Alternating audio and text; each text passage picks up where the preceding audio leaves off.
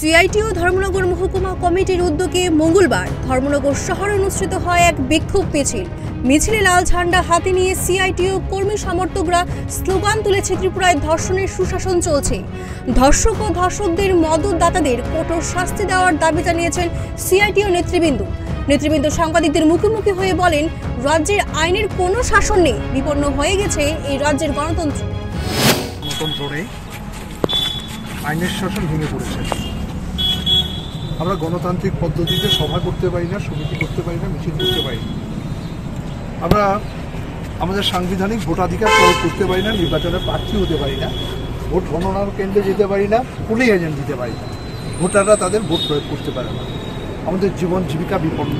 তার মধ্যে আমাদের রাজ্যের নারীরা আজকে ধর্ষিতা গত দশ এগারো দিনের মধ্যে ছ সাতজন শিশু থেকে বৃদ্ধা কোথাও স্নেহতানি হানি হয়েছে কোথাও গণধর্ষণ হয়েছে। এবং ধর্ষকদের পক্ষে সাফাই গাচ্ছেন রাজ্য মন্ত্রিসভার সদস্যরা সাংবাদিক সম্মেলন ডেকে। সিআইটিও নেতৃবৃন্দ আরও অভিযোগ করে বলেন রাজ্যের পুলিশ দল দাসে পরিণত হয়েছে। বিরোধীদের মিছিল মিটিং করতে গেলে আটকে দিচ্ছে পুলিশ। পুলিশের উপর পর্যন্ত খবরদারি করছে শাসক দলের কতিপয় নেতারা।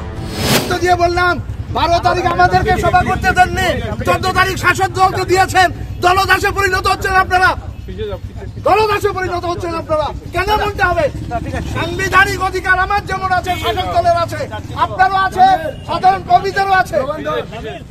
সাধারণ কর্মীদের আছে। আপনারা কেন শাসক দলের লেজুর বৃত্তি করবেন? আপনারা রাষ্ট্রীয় কর্তব্যগুলি প্রতিপালন করবেন? আপনারা ইউনিফর্ম রাষ্ট্রীয় কর্তব্য প্রতিপালন করবেন? শাসক দলের দলদাসে পরিণত হবে? নারী নির্যাতনের মতো ঘটনাগুলি রুখতে বামপন্থী শ্রমিক সংগঠন সিআইটিও রাজ্যব্যাপীগণ আন্দোলন সংগঠিত করবে বলে স্পষ্ট জানিয়ে দেন। পুলিশকেও হুঁশিয়ারি দিয়ে বলেন, জল দাসগিরি না করে সাংবিধানিক দায়িত্ব পালন করার জন্য। Report, Times twenty